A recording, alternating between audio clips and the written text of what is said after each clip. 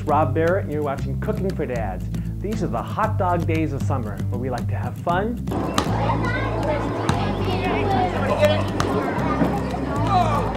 to play games, Set. Go. and of course, to have hot dog tasting tests. With so many hot dog choices available, we decided to get a panel of judges together, grill up five different kinds of hot dogs, and decide which one tastes best. Actually, we had two different panels of judges, one made up entirely of kids and one made up of adults with some food professionals and some everyman taste buds thrown in. These are the five brands we decided to judge. Hebrew National, Schweigert, Ballpark Franks, Nathan's, and of course, Oscar Mayer. We used the all beef version of all five of these so that we'd be comparing apples and apples, and the results were really surprising. First of all, here's a couple tips if you're grilling up hot dogs this summer.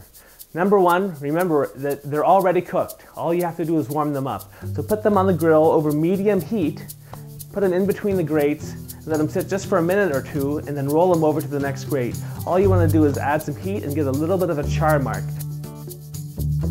So after you've done about three of those grate turns, about two minutes each, you're done. Just pull them off. The only thing you can do wrong is burn them or overcook them, so don't do that.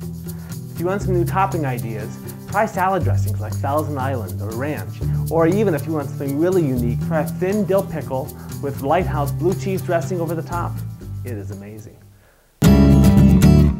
So here's the winners. For the kids, 90% picked one brand, and that was Oscar Mayer. Apparently, they, they like what they know. For adults, it was a little more unclear. It was kind of a tie between Ballpark Franks and Schweigert Beef. Schweigert won just by a little bit, but actually, I like the Ballpark Frank better.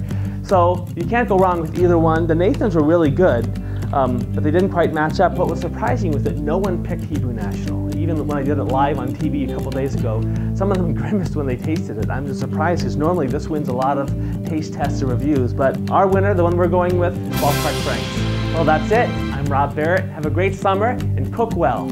It's worth it.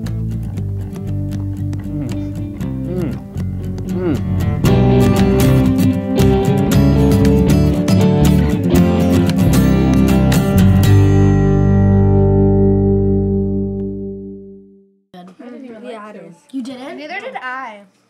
I It was really too. It was too one, salty. four, and five. What was, what was I like number it was too salty. I, But yeah. see, that's the problem. Okay, who liked number I one? salty. I like number one. Katie That likes was Katie. pretty good. Katie. Who liked number five? I like number five. Yeah. I like. I thought, meant, no, That was me. I thought you were gonna say number two. But Nobody everyone else liked Oscar Mayer. I mean, number two, Yeah. I like Oscar four. I Mayer. also like five. Oscar Mayer. Oscar Mayer. I'm really surprised. Oh, Isn't that amazing? No. What was number one? Isn't that-